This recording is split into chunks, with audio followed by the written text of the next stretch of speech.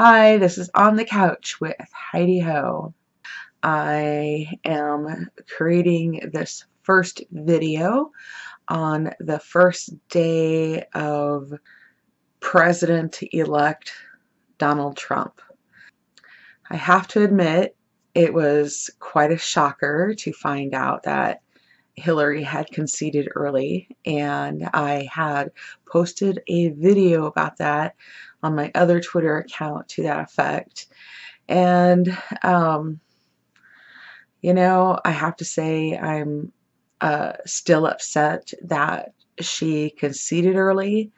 But then after looking at all the results, uh, it was quite close between her and Donald. Today has been a pretty sad day. For those of you that know me, you know that I go to my local university and today on campus it was a pretty sad day. There was a lot of people that were visibly upset, some even close to crying in regards to the results of this election uh, and the uncertainty of our future. What? Marla? I am. I am working on my shit. What? There is Spanish. See, I got my book right here. But I have to do this because, you know, No, I must get the word out. What word out? The word about the descent of America. We must rise up as a target. unified people. You know I'm recording, right? Not Don't! Don't! This is not a touch screen, Marla. My thing is not a touch screen. You can't touch sure the about that? screen. It's stop. Stop it. Oh, Brad. Anyway, well, it's gonna be edited out, so yeah. I'm not gonna put it in there, right? No, I'm not gonna erase the whole video. No, just a part of it. Well, I'll show you what the final edit looks like. Uh, yes, Not what I'm asking. to. Okay, I'll erase it. So did you know that Hillary won the popular vote and is still winning the popular vote?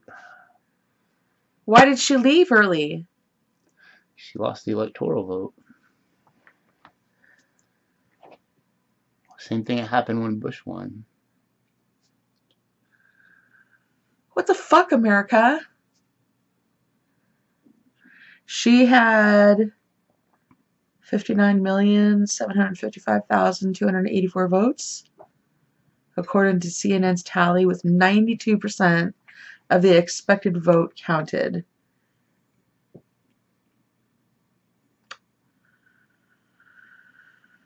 oh, yeah.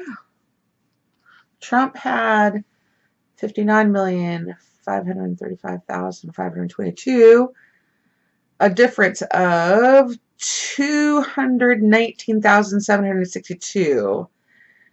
A razor thin consideration that nearly 120 million votes counted so far. The totals will continue to change as absentee votes trickle in, but doesn't really matter now? It doesn't. She's already given up the ghost. Yep. We're fucked. We are just fucked. Anyway. What's for dinner? Potatoes.